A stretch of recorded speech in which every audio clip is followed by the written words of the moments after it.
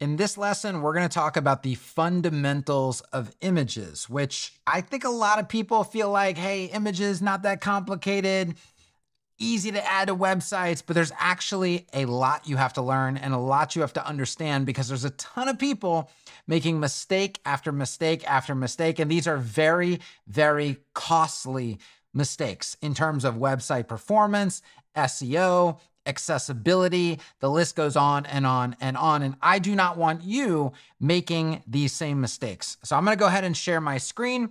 And we're going to do this in a very practical format. I'm just going to start adding images to the page. And we're going to talk about this as I go. It's going to be a little bit like you're getting hit with a fire hose again, but it's okay. You can go back and rewind. You can slow the video down, whatever you need to do. Uh, to be able to digest this information. I'm going to give it to you straight, and it's up to you to sort it out from there. Okay. On a normal website, we have a header, and inside of our header, we have a logo typically. And that logo gives us the opportunity to start talking about some very important concepts like image formats. You may be familiar with JPEG, PNG, SVG, maybe. And we're going to use this logo opportunity to discuss the pros and cons of these different image formats to get started with our lesson. So I need to insert a logo right here. The first thing I'm going to do is go to logoipsum.com and I'm going to download a placeholder logo. If you're familiar with lorem ipsum, placeholder text, you know the text uh, clients always complain about. They're like, why is my website in Latin? Like, calm down, Bev. Uh, it's just placeholder content, okay? This is like placeholder logos and they, they look quite good. So I'm gonna go ahead and download this one right here. And you're gonna notice something when I do show in Finder. Let's just inspect this real, real quick. This is an SVG file and it is six kilobytes. That's tiny. That's very, very, very small. And this is actually the appropriate file format for something like a logo, which is an illustration. SVG stands for Scalable Vector Graphic. And this is, like I said, the appropriate format for this type of image. Now, what I'm gonna do is I'm gonna open Figma because I wanna make a point here, okay? I'm gonna do new design file, and I'm actually gonna pull this file into Figma, and I am going to export it as both an S, a, a JPEG and a PNG. So I'm gonna grab my logo right here. We're gonna go to export, PNG, and we're gonna put those in downloads, and we're gonna put the JPEG version in downloads as well. And so now I have three different versions of this logo. I'm gonna go ahead and add an image to the page. I'm gonna select my image. I need to upload it now, all three of them, drop them in, and let's add the JPEG first. So I'm gonna insert the JPEG, and you're gonna notice a big problem. It's got this white box. What, what is the deal with the white box?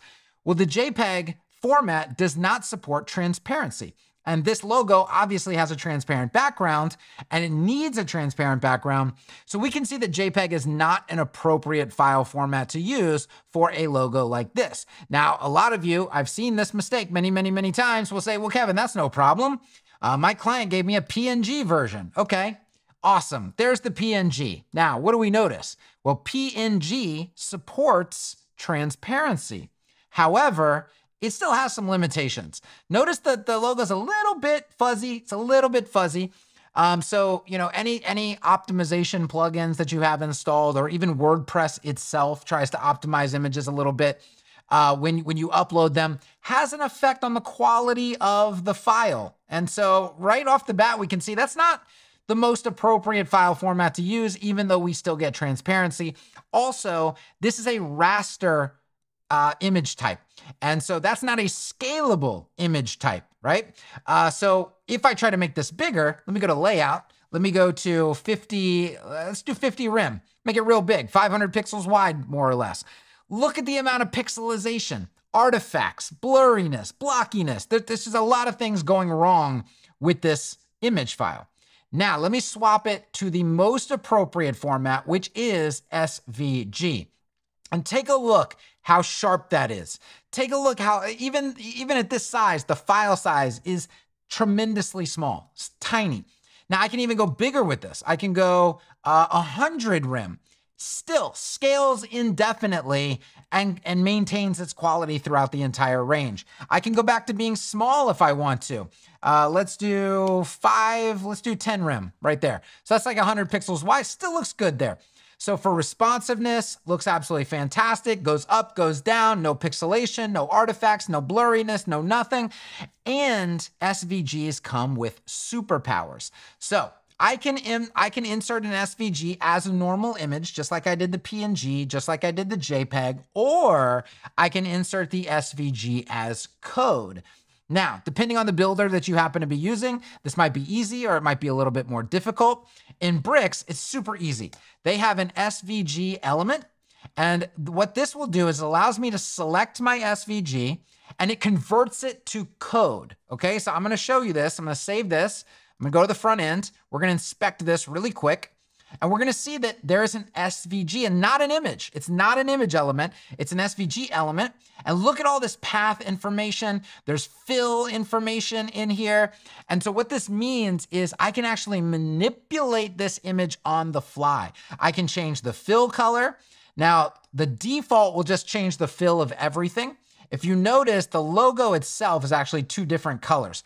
But if I want to, using custom CSS, I can manipulate that color on the fly separately from this color on the fly. I can manipulate those colors on hover.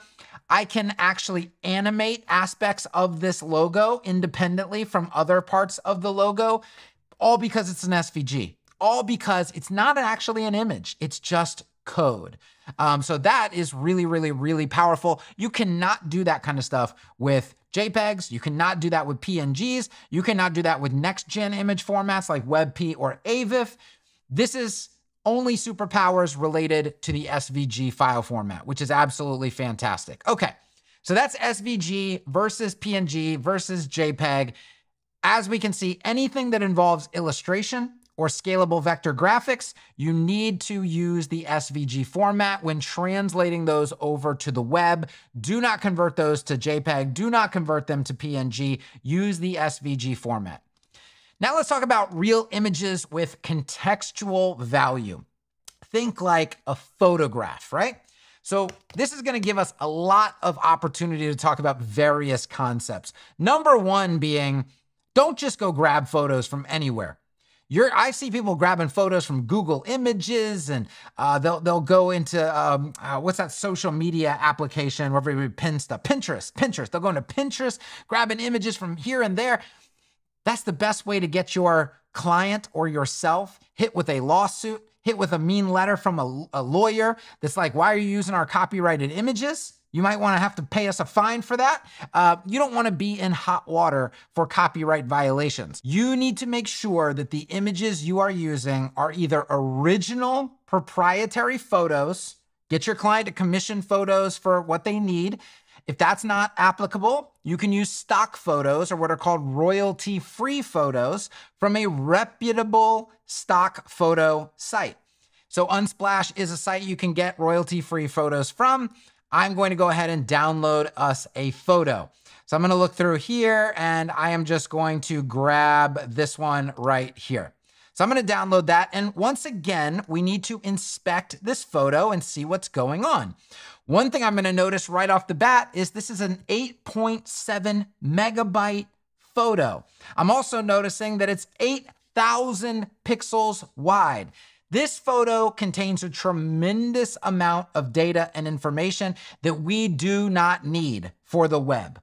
Now, if you want to blow this up to a billboard in Times Square, you need that data.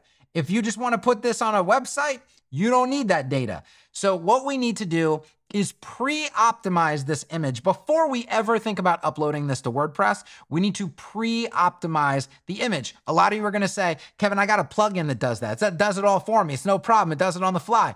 Here's the thing.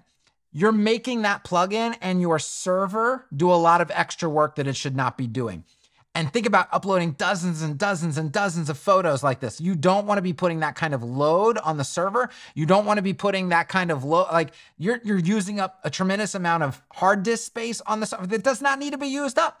You need to pre-optimize your images. I'm going to show you two ways to go about this. The first one is free. The second one is paid. So I'm going to go to squoosh.app. I believe this is owned by Google. Look how fast I can pre-optimize an image. I'm just gonna drag this in, hit resize, put this at 1920. It's gonna drop the quality a little bit. That's part of the optimization process. I'm gonna go ahead and export it. I'm gonna view this in the Finder. Look at this, 380 kilobytes now and it's only 1920 pixels wide. That is pre-optimization of the image. That is 100% free. I'm gonna show you a second method. This is actually the method that I use, and it's an app called PhotoBulk. It's part of the Set app family of uh, apps for Mac. So I just have a subscription. I get all these really cool apps as part of the subscription. This is one of the apps. Uh, but I can take this full res image right here. I can drop this into PhotoBulk and it's it's going to uh, analyze the image real quick and then it's going to bring it in. Remember, I can do one photo with PhotoBulk or I can do, it's called PhotoBulk because I can do like hundreds of images with PhotoBulk all at the exact same time, which is fantastic. I've got some presets here, like it's gonna automatically size it to 1920. It's gonna keep the same exact quality. It's gonna rename it. I'm gonna rename this um, travel or something like that. And I'm gonna go ahead and hit start and I'm gonna go ahead and hit save. And then it's gonna go ahead and process the images. Of course, right now there's only one. And we're gonna take a look at the image as soon as it's done and we're gonna see what has happened. So I'm gonna open the folder, 517K, 1920 pixels wide. Remember, this is not fully optimized. This is pre-optimized. And I can do that with dozens and dozens and dozens of photos all at the same time with PhotoBulk. Okay, I'm gonna go ahead and close that. Now that I've pre-optimized the image, I can actually upload it. So I'm gonna go insert an image and I am going to, oh, nope. Before I hit upload, let me go back into the admin and we're going to take a look at two plugins that I, I, I would recommend you install these plugins on every single website. One is called HappyFiles Pro. The other one is called ShortPixel. What HappyFiles Pro is going to do is it's going to allow me to organize the photos that I upload. I will tell you, WordPress leaves a lot to be desired when it comes to media management. There is no way to organize photos, and it becomes an absolute junk drawer nightmare very, very, very quickly. HappyFiles Pro also gives you some superpowers as well. So let's first take a look at HappyFiles Pro. I'm gonna click on the media library, and you're gonna notice right off the bat, looks a little bit different. There's this folder system on the left-hand side. I can go ahead and create a folder, what they call a category, and I'm gonna call this branding. And then what I can do is I can organize my branding files by dragging them into that folder. And now I can keep those separate from all my other media. What I would also tend to do is create something like placeholders. All of my placeholder media can come in here. You know how valuable this is? You, you use placeholder images everywhere and then the client approves the design, yada, yada, yada. They send you all the real photos, you swap them out you still have all these placeholders uploaded that you don't need. You can simply open the placeholders folder, delete everything, and now you've cleaned up your media library. There's no more placeholder data in there. Absolutely fantastic. You can create um, categories for your services and I can drag these around. I can nest them under other things, whatever I want to do. Um, so I can create services. I can say like uh, roof repair. Uh, if I'm doing a roofing site, there's my roof repair photos under my services. Very, very, very good for organization. And another superpower, I can actually, these are queryable objects. So I can query every, every image inside the services folder or every image inside the roof repair folder. Absolutely fantastic. I can actually assign images to multiple categories or multiple folders if I want to. Kind of the same way that Gmail uses like tagging. You can apply multiple tags to a single email. Really, really powerful for organization. And last but not least, it actually allows you to use this type of organization everywhere. Pages can be organized. I don't have it turned on right now. Posts can be organized in categories and folders within HappyFiles Pro um, your templates within Bricks. It is really, really, really powerful. So highly recommend HappyFiles Pro. Now let's talk about ShortPixel. Short Pixel is the image optimization plugin that I use, and it does two primary things. Number one, it re-optimizes every image that I upload. Number two, it serves images to visitors in next gen formats like WebP. You really, you're, you're going to be working with JPEGs and PNGs and SVGs. Out of your JPEGs and PNGs, those need to be served to visitors in the WebP format for best optimization and performance. But the thing about WebP is it's not supported in every browser and every device. So what we need is a system that detects the browser and device and says, "Oh, your browser supports WebP. So we're going to serve you a WebP version of all of our images." And that happens on the fly. And if they don't, then we serve them the JPEG or the PNG version. And ShortPixel does that all for you automatically. Now, there is a little bit of setup involved. I'm not going to go into detail in this particular video because everybody may use a different tool. Um, but I will do a video on, I've done a video on setting up ShortPixel. It's in my blueprint plugin video. Definitely watch that if you haven't. But I will do a specific video on setting up ShortPixel for Nginx servers because there is a, a few extra steps that you have to do. If you're using Apache, I don't think you have to do those extra steps. So again, it's it's a situation where this doesn't apply to everybody, so it doesn't make sense to do it in this video. But the point stands, we need to be serving visitors with WebP whenever possible. Um, and if they don't support WebP, serve them JPEG or PNG that are fully optimized, which ShortPixel is also going to optimize.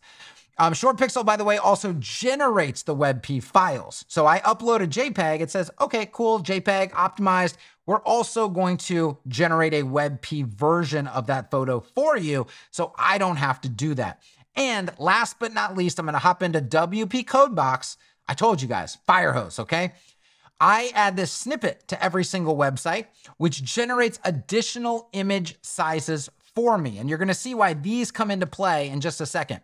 But I just uploaded, let me go to, oh, oh, actually, I didn't upload it yet. Let me delete this right here, delete category. Okay, we're going to go to placeholders. Let me delete this one right here. Placeholders, and I'm going to upload, add new. We're going to upload my little uh, photo here that I got, travel zero. And this is the pre-optimized version, okay? I'm gonna edit this so we can see it's 500 KB, 1920. I actually don't have short pixels set up on this site, so it's not gonna optimize it any further. Um, but if I go back to the media library here, we can take that and put it in placeholders. See, placeholders, separate from branding. Ah, very nice, very organized. Okay, now what I'm gonna do, you're gonna see where these other sizes come into play. But I wanted to show you I uploaded one size. But on the back end, that little script actually generated a bunch of different sizes. Look at this drop down. Look at all these sizes that I have to choose from. And ShortPixel would optimize every one of these sizes as well. And the reason I need this is if you don't have these sizes, you're most likely going to be putting full res images into small spaces like this. This is a grid. So I'm going to go ahead and hit save, view this on the front end. Does this need to be a 1920 pixel image like this? Pulling that full file at 517 KB? No, no, no, no, no. The rendered size is only 435. So what I can do now, because I generated these other sizes, is I can come in and say, you know what? The 480 version is going to work perfect here. So I'm going to just select the 480 version and not the figure tag, the 480 version right there, hit save and then refresh. And look now, it's actually pulling a completely different version of this photo, 480 by 320.jpg. So it is pulling only the size that is actually needed for that particular space that this photo happens to be in. Also, let's go back to the DOM. We need to talk about all of this code that you see here. Why are there so many links to so many different images within one image tag? This is called source set. So I want you to imagine for a second, or in fact, we don't have to imagine. Let's take the grid off of here and let's make all of these 1920, okay? And actually, I'll just go down to one image now. So there's one image and it's loading at 1920 for this space. It actually only needs to be like 1600, like 1536. Let's do that, save, refresh on the front end. So there it is. 1536 pixels is the image being pulled here. Now, here's the thing about this. On a mobile device, do, does that need to be 1500 pixels? No, absolutely not.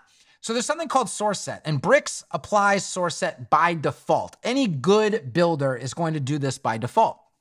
Even though this is more modern. So if your builder's lagging behind in functionality, it may not do this, okay?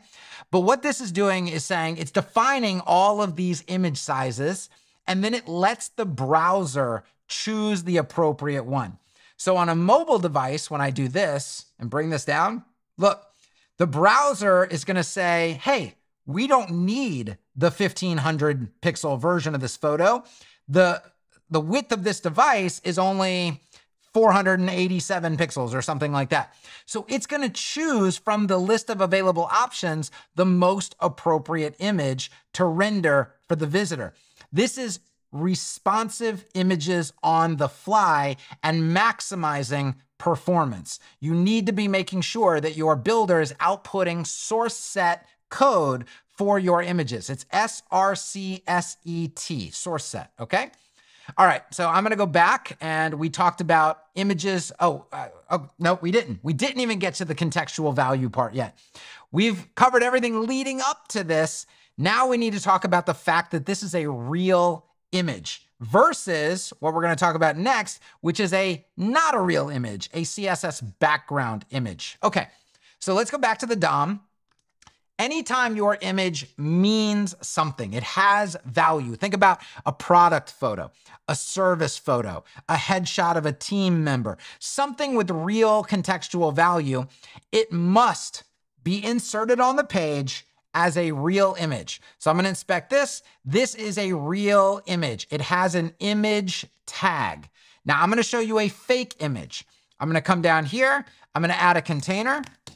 And what we're gonna do is make this container 500 pixels high. So I'm gonna say 50 rem.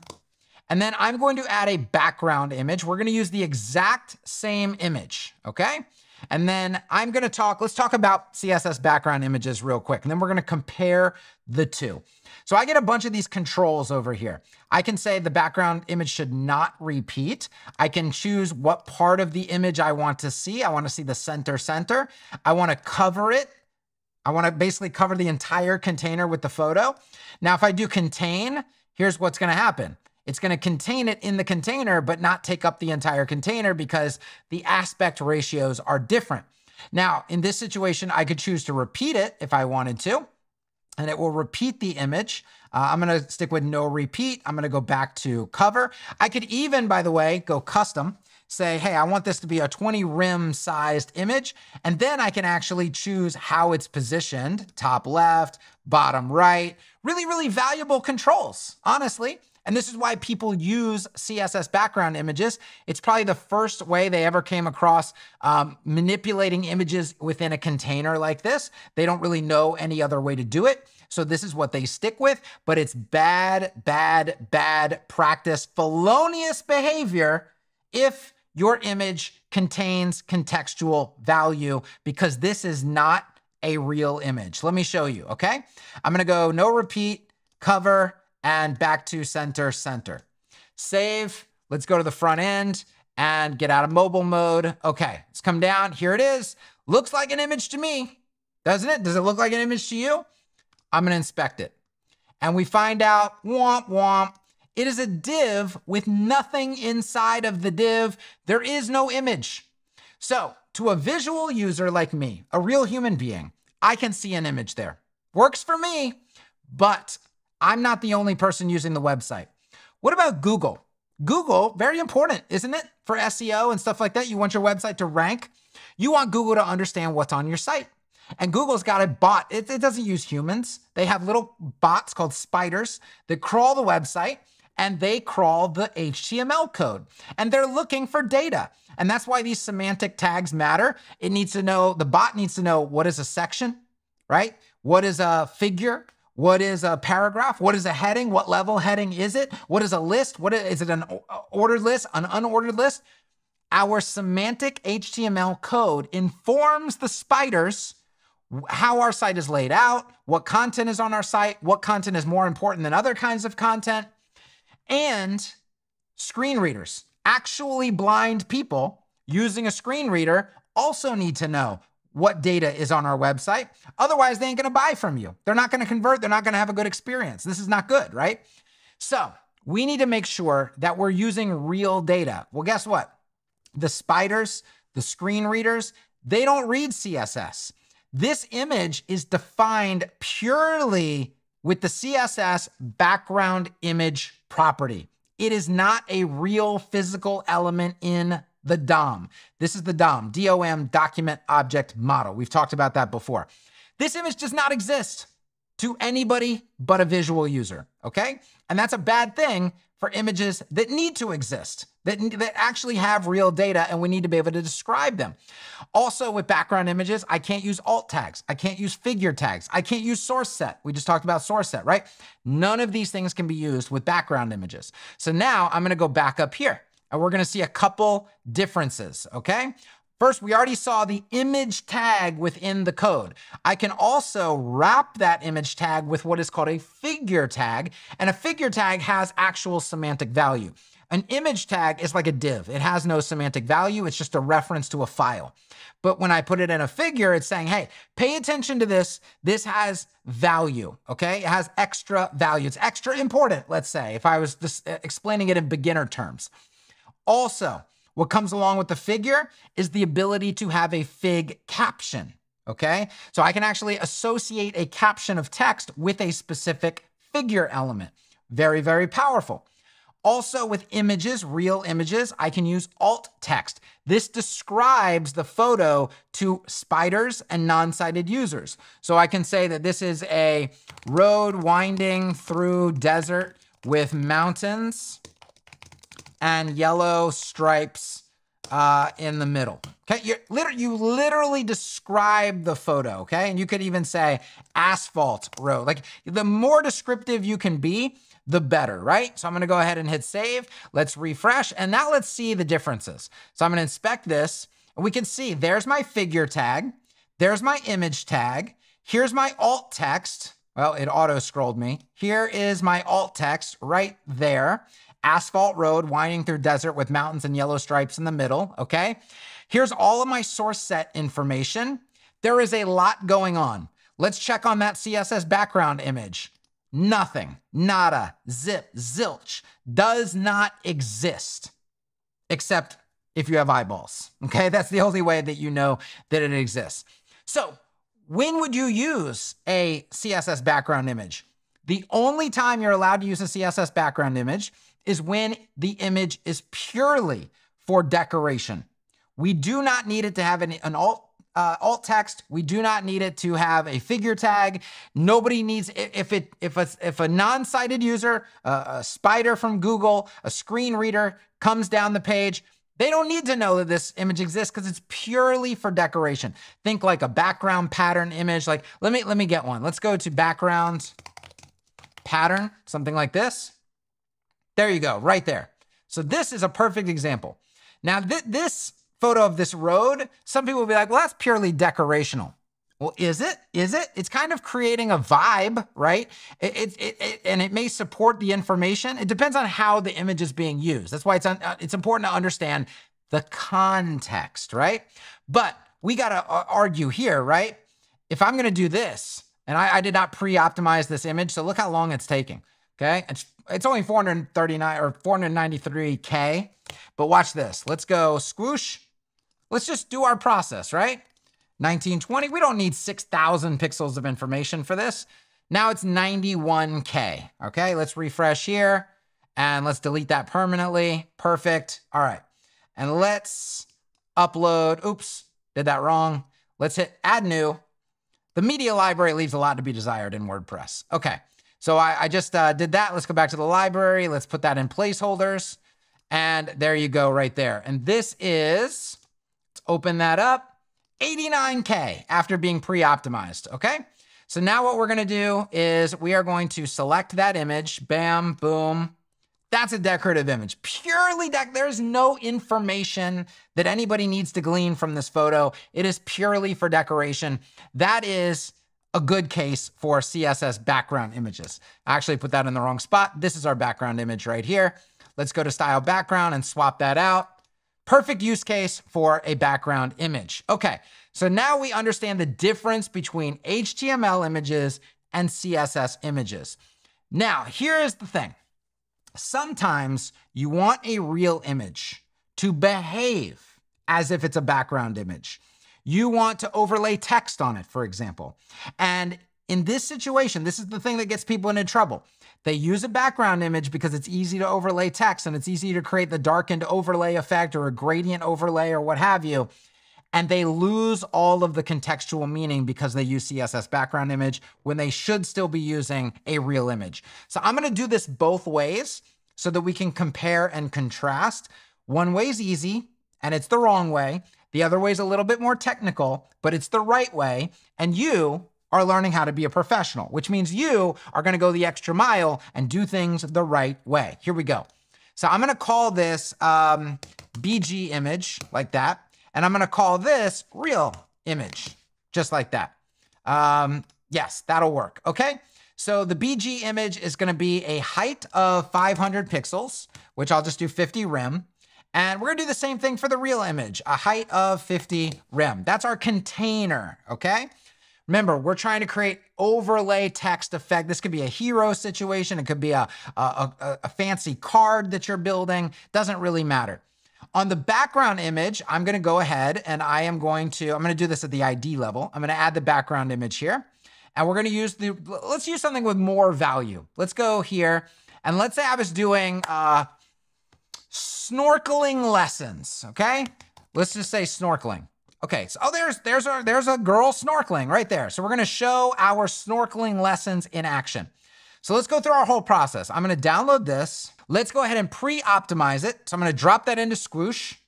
We're gonna resize to 1920. And we're gonna let that run. I'm gonna download it, perfect. Now I'm gonna come back, let's close that. Let's select the image. Let's upload the optimized version, perfect. Let's insert it.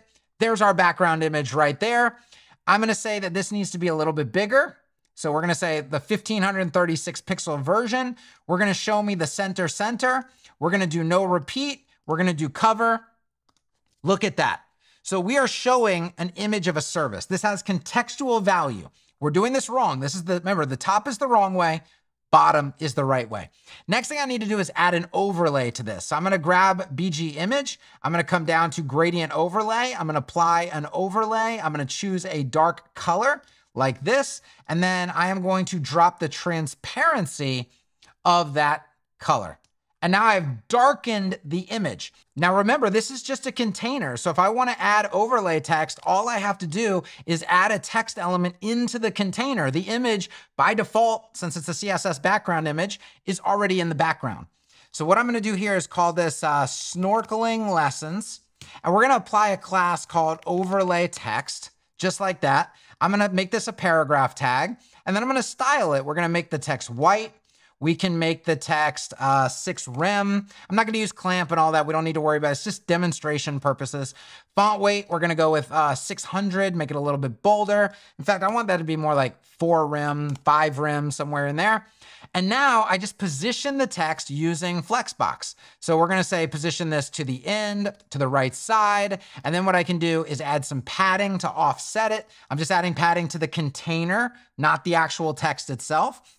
Let's do something like 5 rem, 50 pixels on all sides. Look at that. Perfect overlay text, super easy to do. Now, that's the wrong way to do it. Why? Because we have a card, more or less, that's all about our snorkeling lessons. The image is important to the context of this card. But if I inspect, what do I see? I see text called snorkeling lessons and Google doesn't know there's an image here. Screen readers don't know that there's an image here only sighted users, humans, know that there is an image there. So this is objectively the wrong way to do it. Source set, no. Alt tags, no. Figure tag, no. None, none of that can be used because this is a background image. Now I'm gonna build it the right way. This is the little bit harder way, the more technical way, but it's the correct way. And now you're gonna know. All right, so here's what we're gonna do. We've got real image, 500 pixels high we're going to insert an image, a real image in that container, and we are going to select the exact same image. Perfect. I'm going to also say that we need to render the 1536 pixel version of this. I'm going to wrap the image in a figure tag. I'm going to give it some alt text, okay? Girl taking snorkeling lessons in the Bahamas while photographing coral reef. Woo!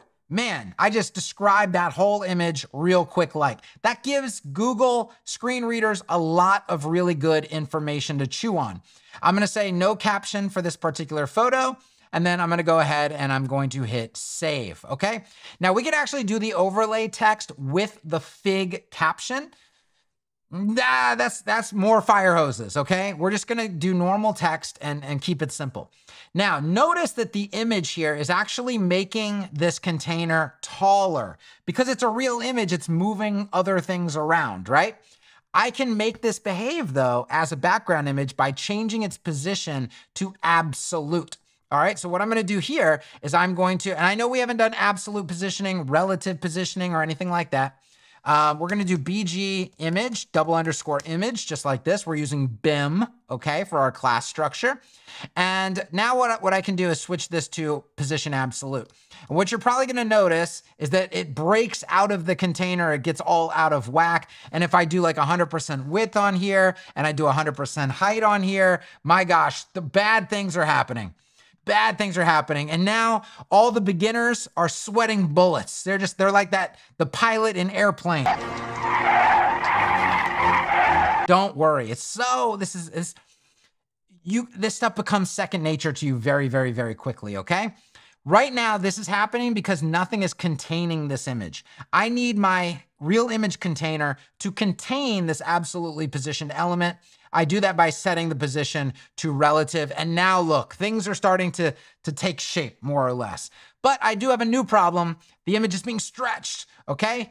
I can use something called object fit in order to make this, finish making this image behave like a background image. So I'm gonna go to the image itself, BG image, image, object fit, cover, fixed. Okay, now this image is a real image, but it behaves like a background image. I can even change its object position. I can say 50%, 100%. That'll show me the bottom of the image. I can do 50%, 0%. That will show me the top of the image, just like background images works, okay? I'm gonna say 50-50 because I want it to look exactly like this version up here. And let's go ahead and save. Now, what are we missing? We're missing the overlay text and the darkened overlay. Well, the overlay text is no problem whatsoever. I can still, I'm still working within a container. I can still just add text and I already have a class called overlay text. So I can just go ahead and put that in.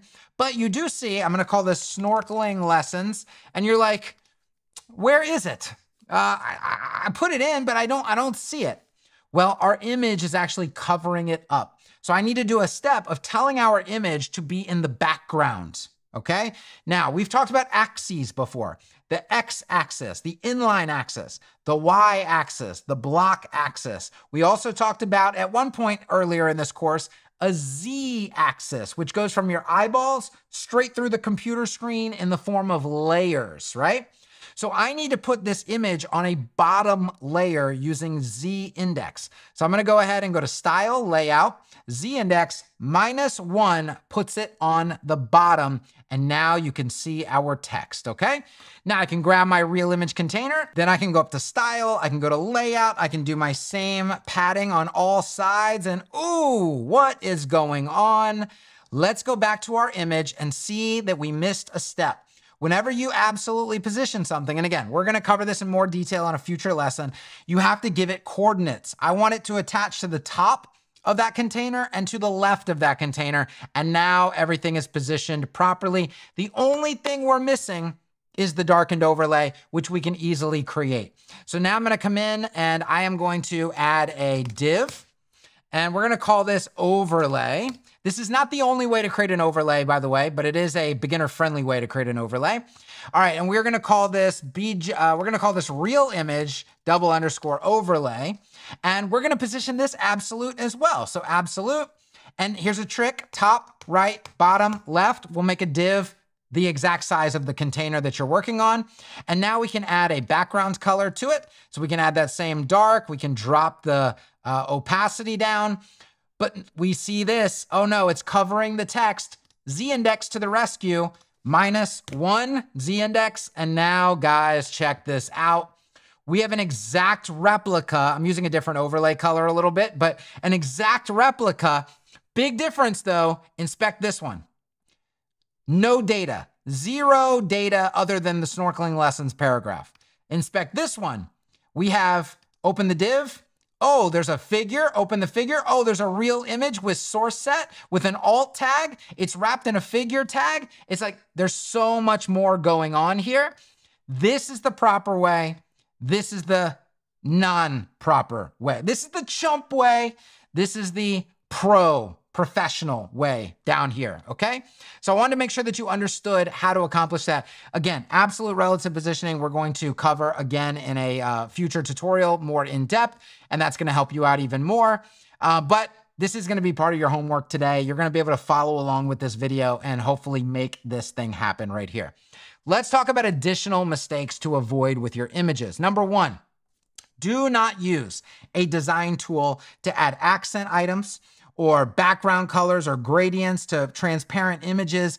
Never, ever, ever, ever, ever do that in a design tool. Always do that with CSS. Number two, don't use a design tool to manipulate an image's saturation or opacity or crop, aspect ratio, blur, border radius, contrast, or anything else in that family of, of visual controls. Always use CSS instead.